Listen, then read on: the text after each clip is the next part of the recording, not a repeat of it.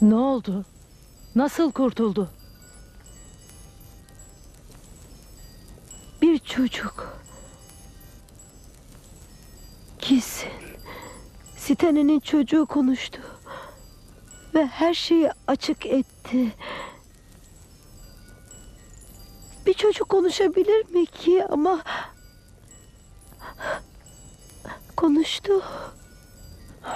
Peki ama nasıl olur bu? Nasıl? Ben de bilmiyorum. Yüzersef konuşmasını istedi ve o da konuştu. Daha da garip olanı çocuk yüce ve tek yaratıcının izniyle konuşuyorum dedi. Bu bir büyü. Gerçek de olsa büyüden başka bir şey olamaz efendim.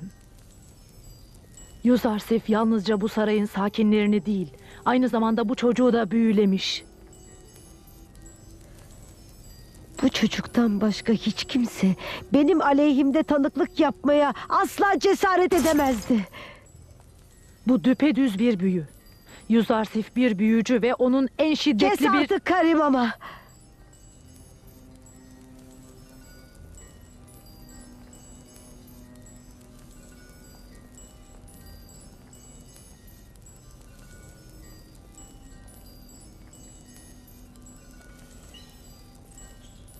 Bu kapılar kilitli değil miydi? İyi ama nasıl kaçtı? İnanılır gibi değildi. O kapılara dokunmuyordu ama kapılar açılıyordu. İnanılır gibi değildi. Kendi kendine mi? Demedim mi o bir büyücü? Büyücü değil. Çocukluktan beri onu büyüten benim. O asla bir büyücüye gitmedi, asla. Peki bu kapılar? Bu çocuk?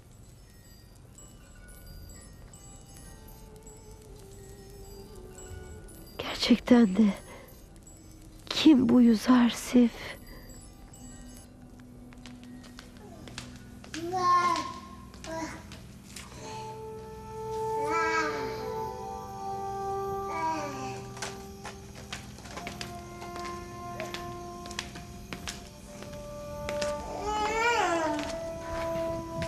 Stenen!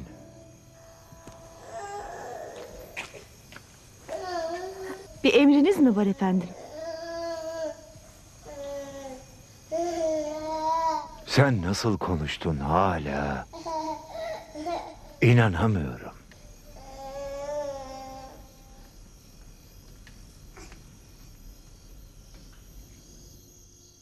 Sen burada ne arıyorsun?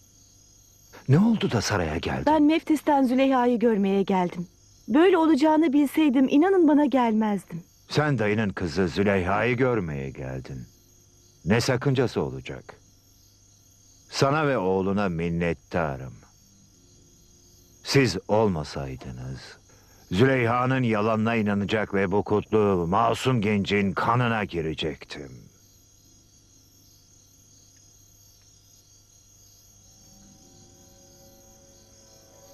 Aferin benim bir taneme. Sen nasıl konuştun öyle? Züleyha'yı görmeliydin. Altı aylık çocuk nasıl konuşur? Kendi kulaklarımla duydum.